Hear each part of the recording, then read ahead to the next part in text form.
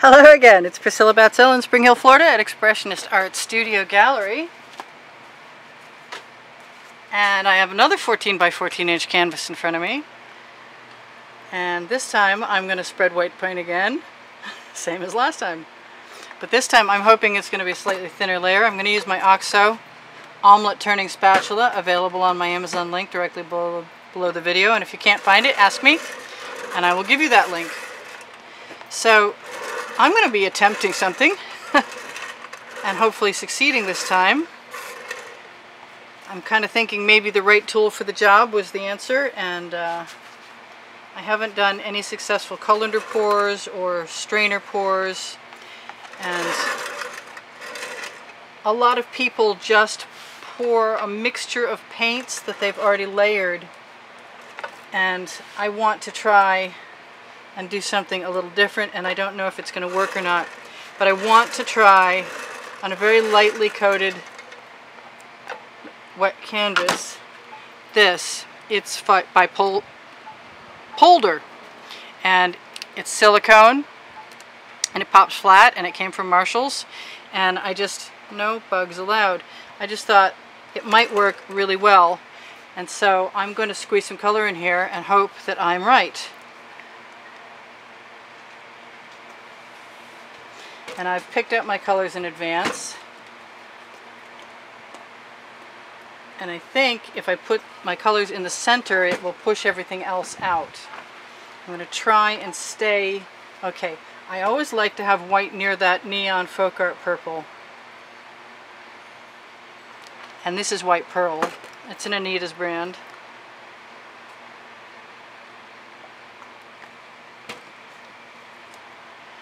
Anyway, the white, the, the neon folk art purple is a little difficult to find.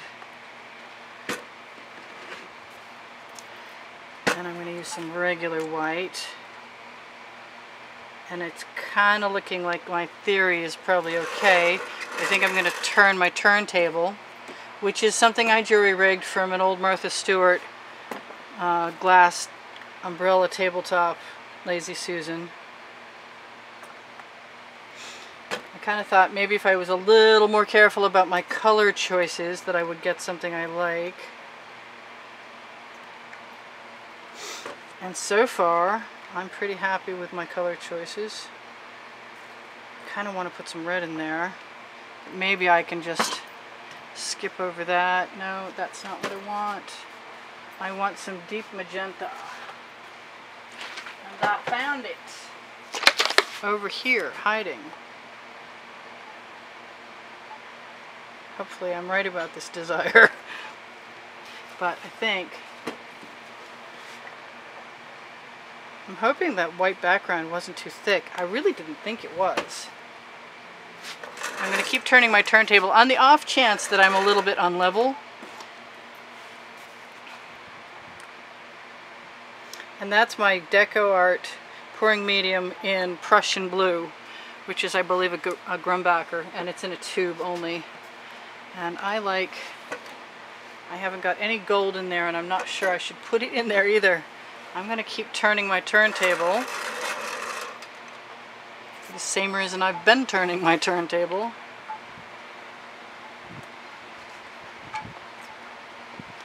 Keep trying to force my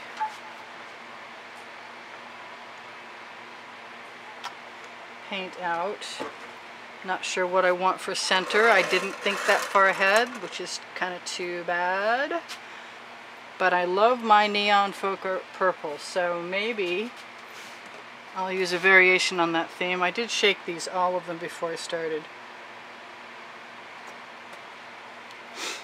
And I am going to have to lift that up pretty soon, and uh, that makes me a little nervous. Because it's a pretty wide base. But I've seen these fill in a whole lot of times, so I'm hopeful that that will be the case now. I think I have enough paint in there.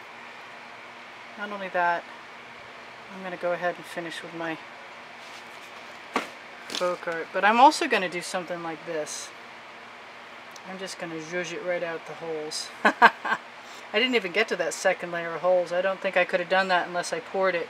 And that might have been kind of neat if I poured a big cup in there and let it leach out. I never have been like everyone else all at once. Kind of let it go where it wants. Let's see what happens when I pull the center up. I'm going to throw my dirty tools in my bucket. It's good to not let your paint sit on your tools. I have a good section. There we go. Broke the section. And here it comes in. I so hate rinsing paint away.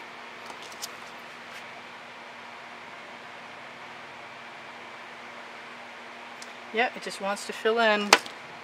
I want a black center, but I guess I don't really need one. How about a pink center? For fun.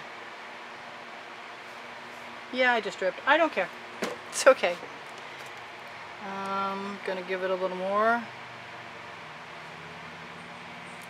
Because I can. And I kind of think I want this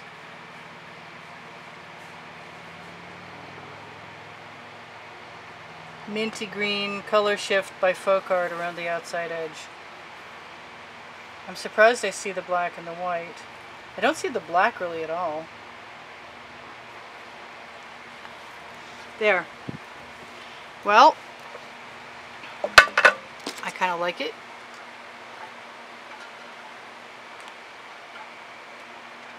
I am definitely want to uh, mess with things. I don't know how I can mess with things without messing with things in a bad way, but I'm to give it a try. It's sort of like a ring pour. It's a hot day, which may make the paints very liquidous. You know what? I just really want to mess with it. so, I am. That's what I'm going to do. It's pretty. But I'm going to pull the outside edge out.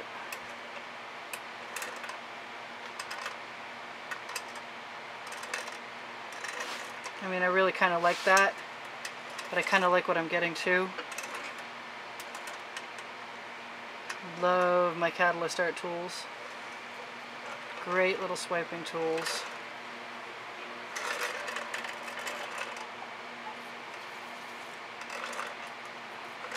Making the most of all those colors hiding in there. And they're sort of swiping out. And I'm enjoying this.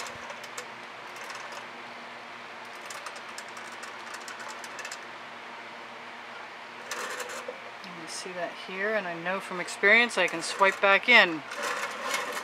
Also know from experience that I can do all kinds of other things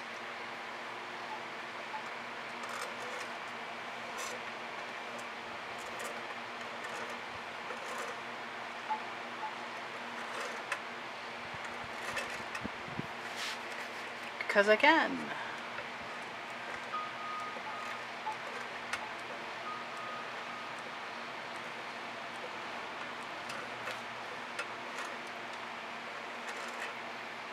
Too much fun not to play with. Artists gotta play.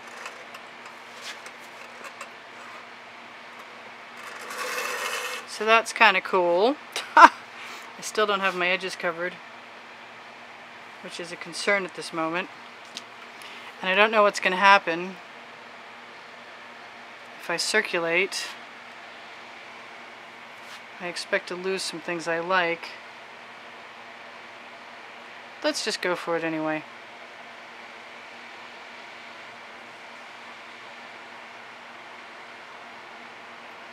Because we can.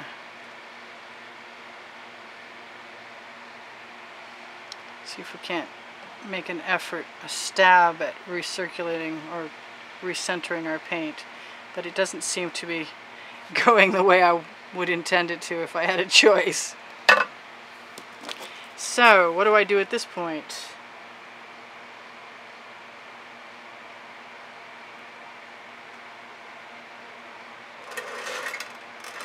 Why not? I love pulling paint. I really do. So now I have that gorgeous purple and tools. Ha! And do I want another spatula? I got seven minutes left. So I'm going to take this little tiny spatula And I am going to do the same thing I just did, only in a different direction. Am I? Yeah? Ooh, dare I? How about the purple? Wow. That's a big dare. That's a fun dare. I'm gonna wipe that off. It's like I have lucky evil eye in the center.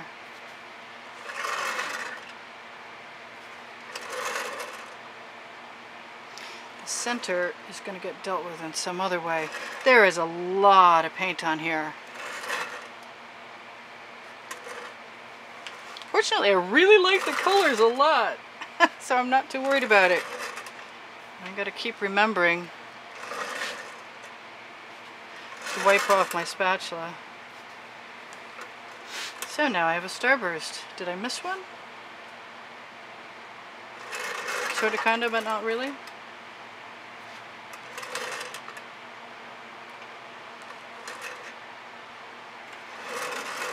Yeah, I don't mind that. I don't know what I'm going to do with the center though.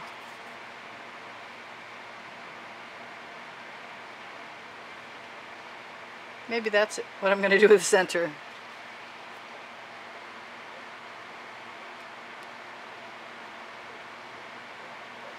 Just keep pulling paint.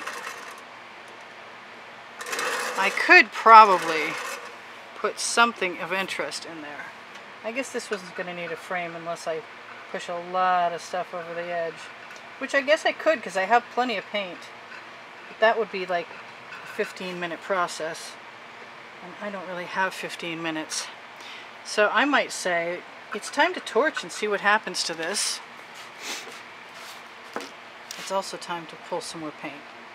I see that. Right in between. Right with a much skinnier skinnier tool edge. You could probably use any of them to do this, if you wanted to.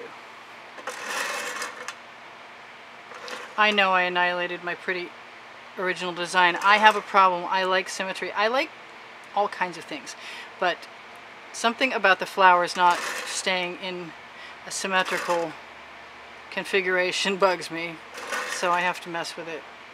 Sorry for all of you who are like groaning in the audience right now. Oh well, do your own painting.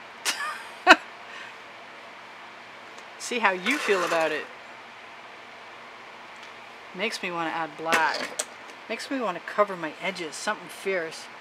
I have some of them covered. I am going to need to continue doing that, but since I don't have that much time left, and I don't mind my center, I believe those marks will fill in. We can hope so.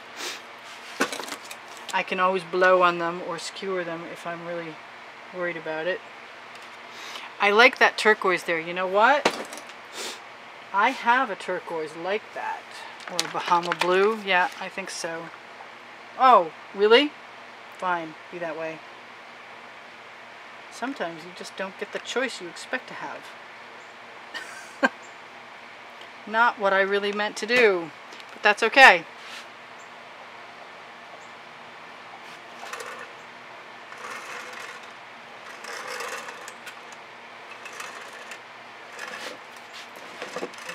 Love it if I would learn to keep my paints out of my way.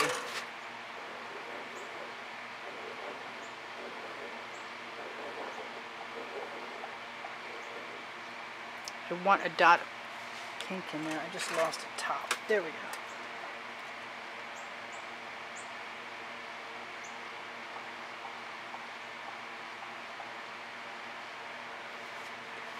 Alright, this is coming out actually kind of cool. I'm not, I have no regrets. Except for maybe not leaving that dot there, which looked pretty good until I did that to it. But um, what I do have here, which I want to use right now, is a little bit of gold.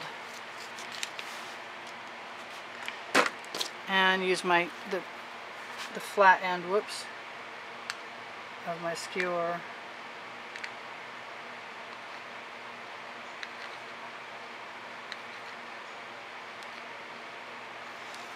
yeah that's pretty simple so is that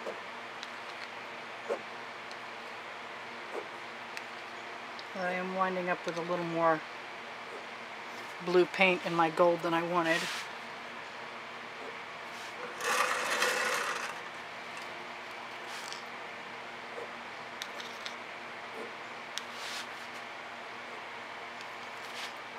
I had a moment where I forgot what I was doing.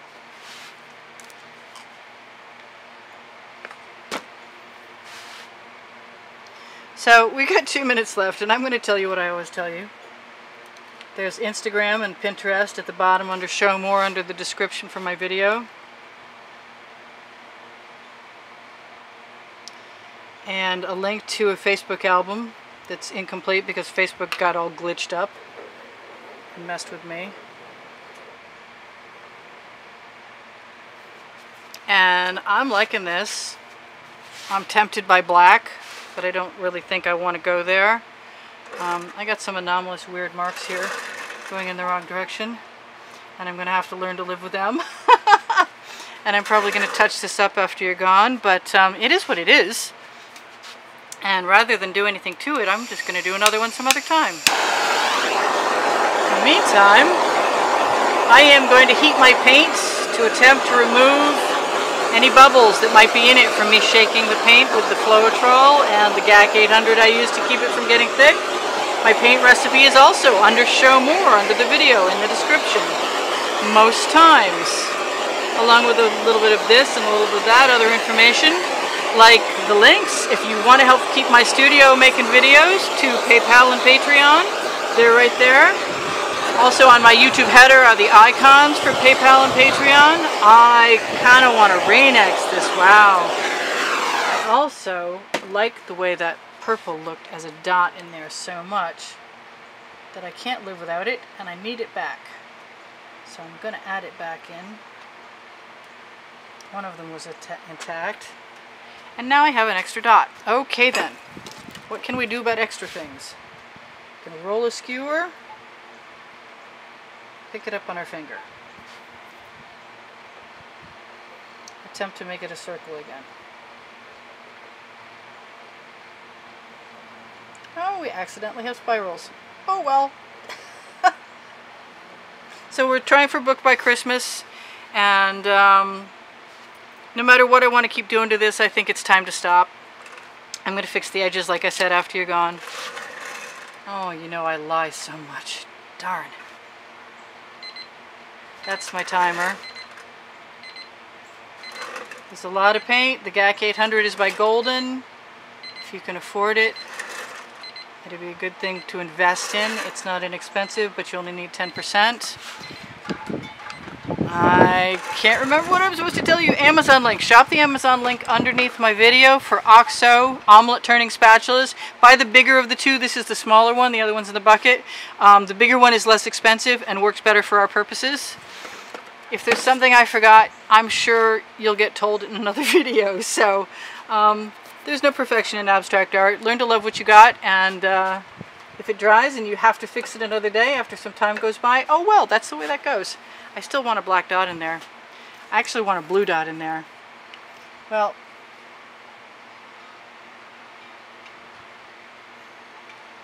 you're probably seeing this.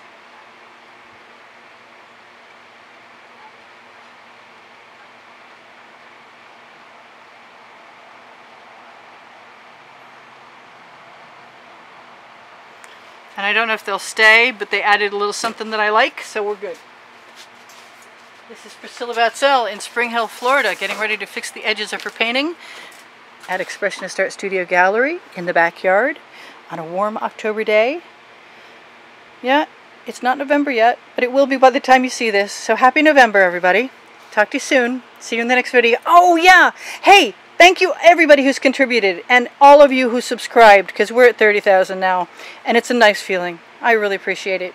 Thanks so much and thanks for joining me. We'll see you soon. Bye for now.